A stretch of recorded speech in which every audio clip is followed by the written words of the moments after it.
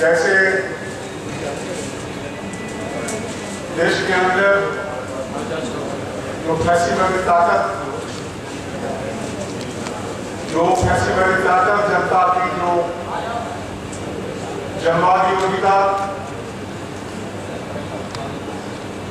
वो छीन रहा है देश के अंदर हमारी जो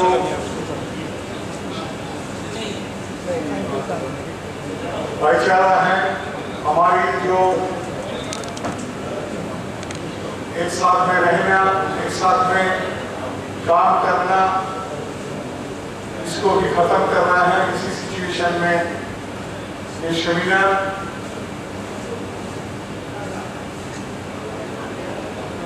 मैं पहले ये सेमिनार हम लोग क्यों आयोजित किया है?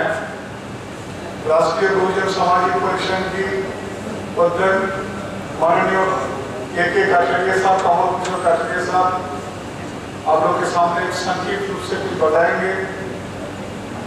उसके साथ साथ हम लोग आज का जो प्रोग्राम जो कार्यक्रम हम लोग शुरू करेंगे। माननीय कमल किशोर काटड़िया साहब आज के जो सेमिनार के हम लोग सेमिनार आयोजित किया है।